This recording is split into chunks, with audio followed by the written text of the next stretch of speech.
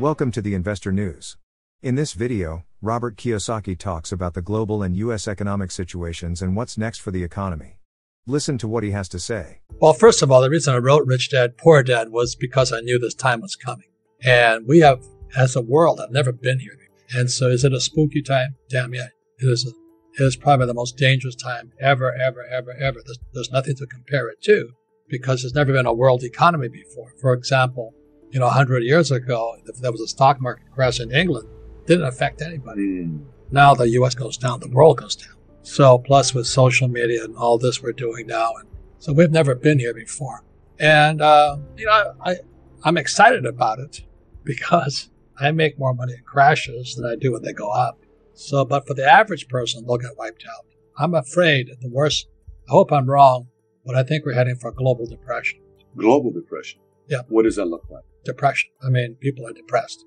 The economy stays down. It's hard to come back up.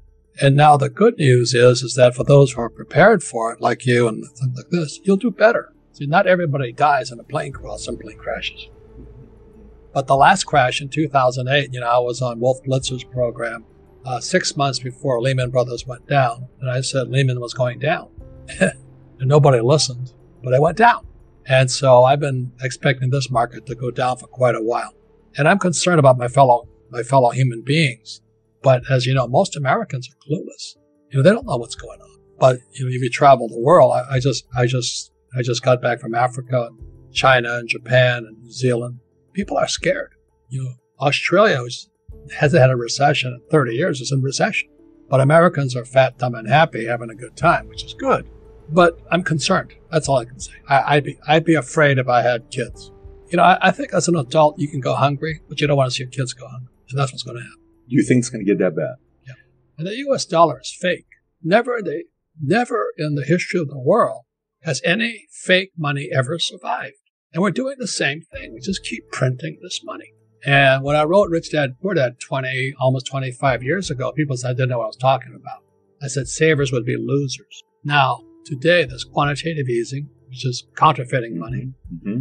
And then you have zero interest rates. And people are still saving money. Are you nuts? They just printed, I think, $500 billion in September of this year because the repo market is going down.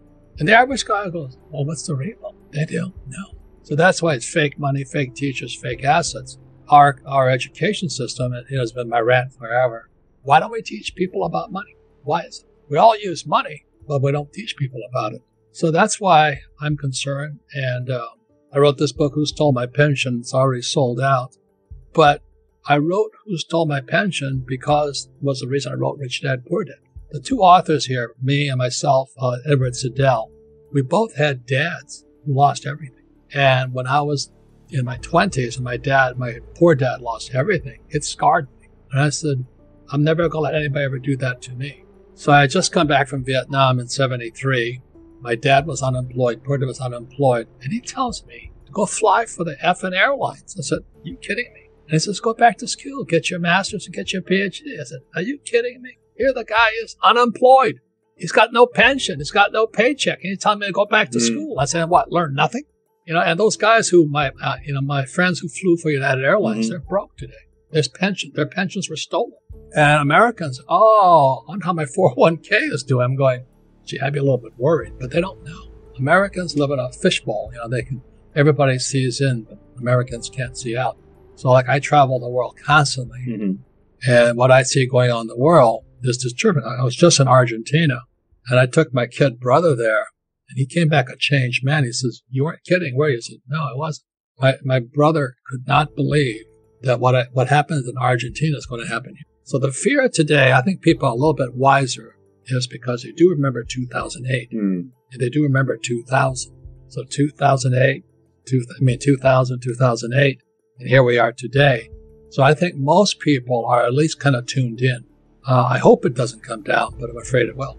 But I want to say what you did was really, really smart because the best time to start a business is right after a crash. I made more money after 2008 than I ever in my whole entire life because everybody was hiding like little cockroaches. Wow, you made more money after 2008 yeah. than your entire life. Yeah. So when you know here I'm talking about the coming depression, everybody says, "Oh, you're you're such a pessimist."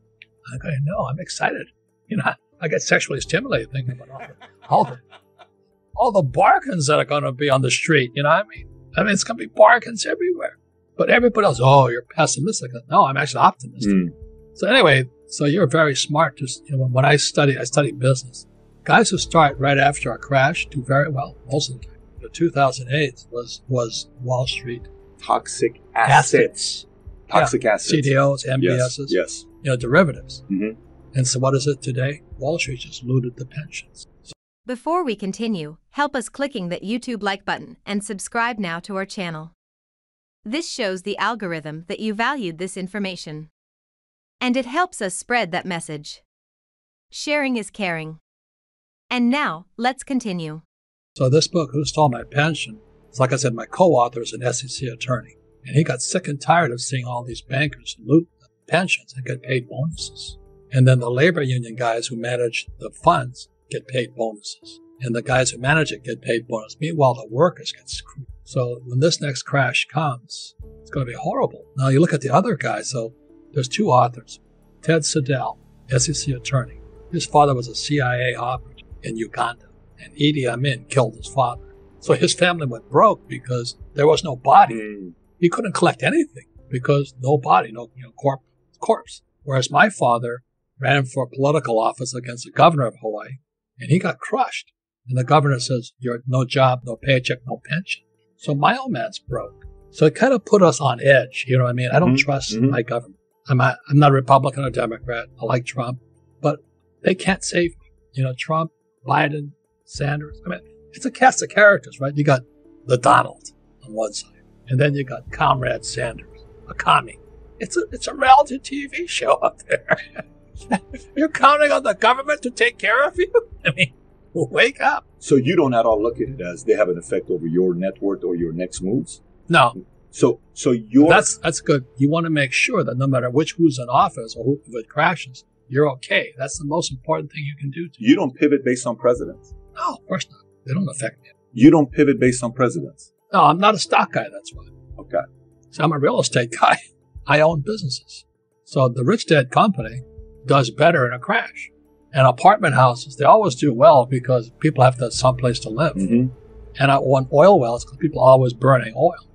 I always protect my assets that they're crash proof. So let me ask you, the average person's watching this right now saying, okay, Robert, I'm not like you. I don't run a company.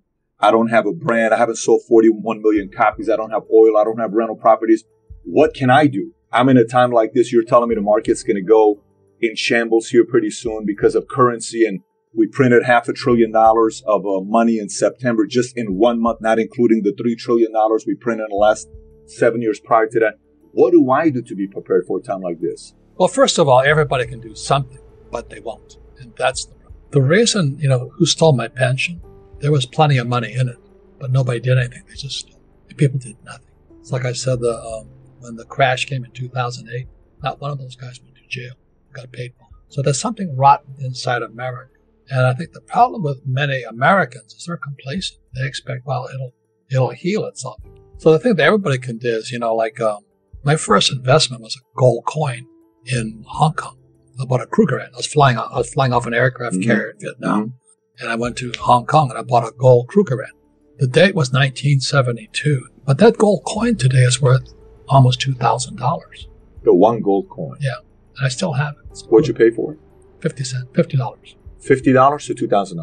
1972. Yeah, it just sat there.